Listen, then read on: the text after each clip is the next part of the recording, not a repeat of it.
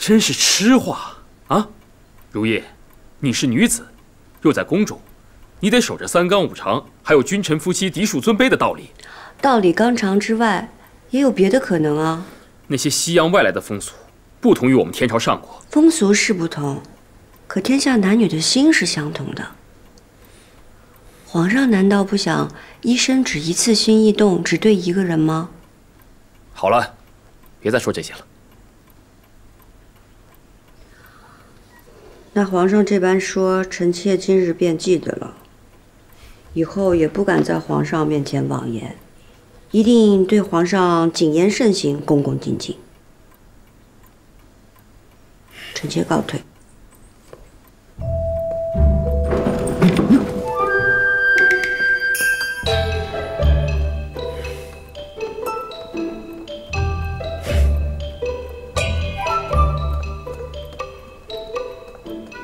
上，如意馆的人来了，问您是不是过去？不去了，朕没心思。这，哎，把朕推回去。这，慢点。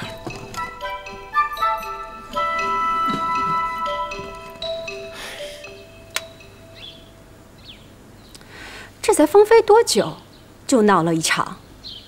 王清说。皇上动气了，这贤妃，平常看着还像个样子，这起了性子的时候，着实不成体统。景仁宫都轰了，他还这么使性子，迟早得吃亏。罢了，只能让另外几个嫔妃多去侍奉皇上了。皇上。你怎么不理臣妾啊？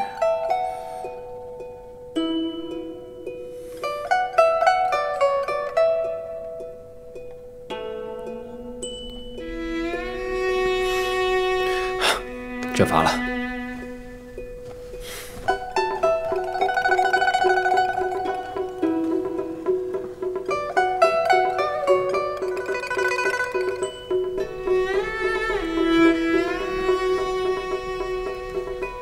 你来了半日，怎么连话也不说一句啊？臣妾笨嘴拙舌的说了，怕惹皇上笑话。那你就继续做你的闷葫芦吧。您和皇上置气，可皇上倒好，今儿去贵妃那儿，明儿去嘉贵人那儿。就连最不得宠的婉答应都去养心殿侍候笔墨了，您还在这画什么呀？您是真不着急啊？他是皇上，我是妃子，我有什么办法？阿若姐姐，主才不会生了和皇上的情分呢。走心，走。阿若，把这儿收拾了。还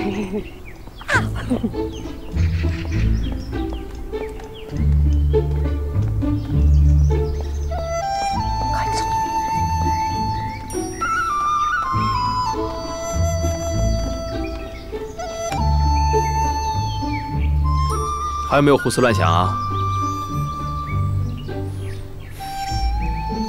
就算朕说话说的重了一些，有则改之，无则加勉，成了吧？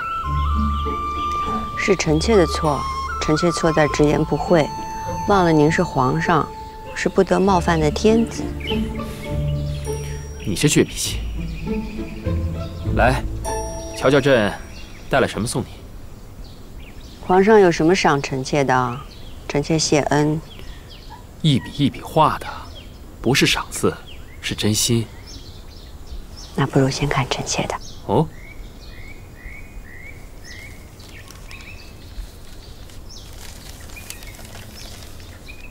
哼哼。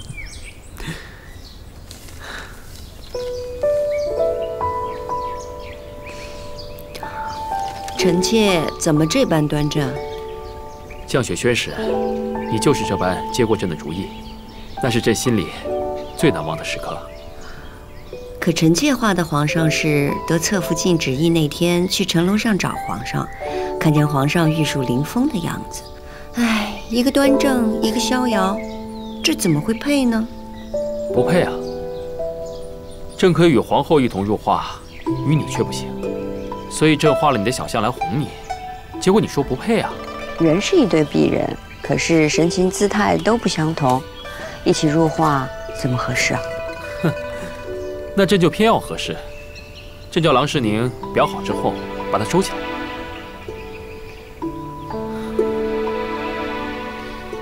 今儿个天真热啊！您一直在用啊？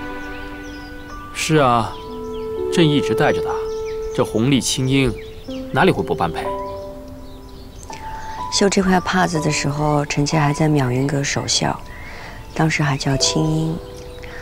那时候臣妾以为再也见不到红丽了。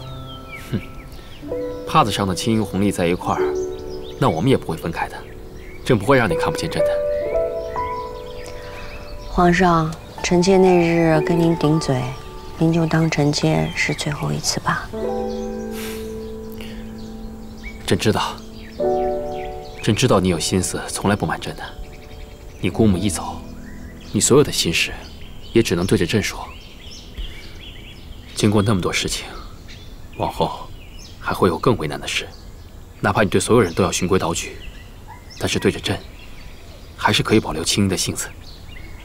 嗯，只是以后啊，不许说傻气的话。是。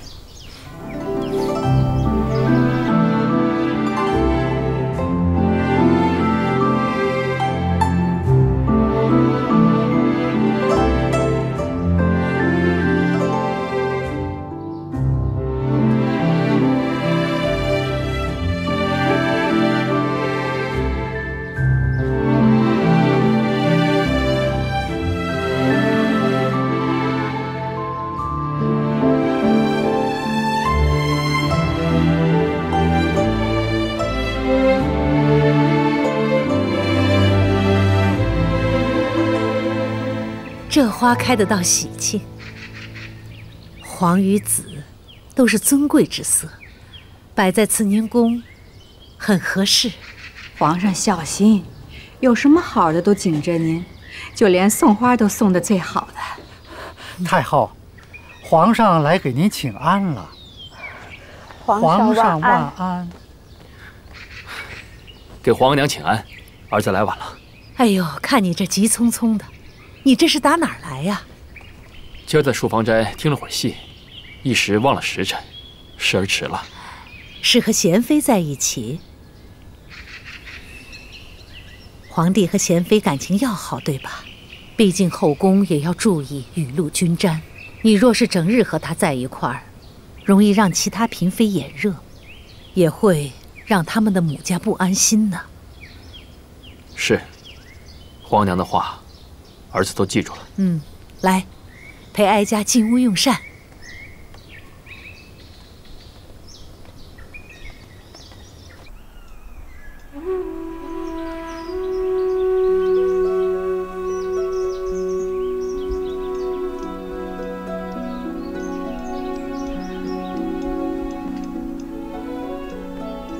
主绣什么呢？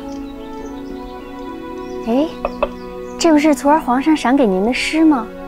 我把它绣在帕子上，都别致。皇上人虽没来，心里却记挂着主。主想到了皇上，便这般高兴。哼，这费了贤妃好大功夫吧？还绣了人物，是谁啊？回皇上的话，主说皇上的诗是题《吴梅村集》，主最喜欢里头那首圆圆曲。所以这个人物是陈圆圆，他倒有心思。皇上，方才启祥宫来请过了，嘉贵人等着您去用晚膳呢。皇上夸主有心思，不如当着主的面夸，比奴婢传话来的好。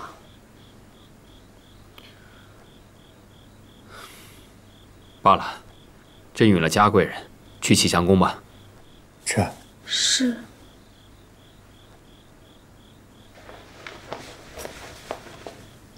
主，怎么了？嘟了个脸。皇上明明喜欢主的刺绣，偏还去了嘉贵人那儿。这些日子，皇上怎么来咱们宫里少了？皇上自有安排，你着什么急啊？好吧，好吧，奴婢就陪主在这儿等着。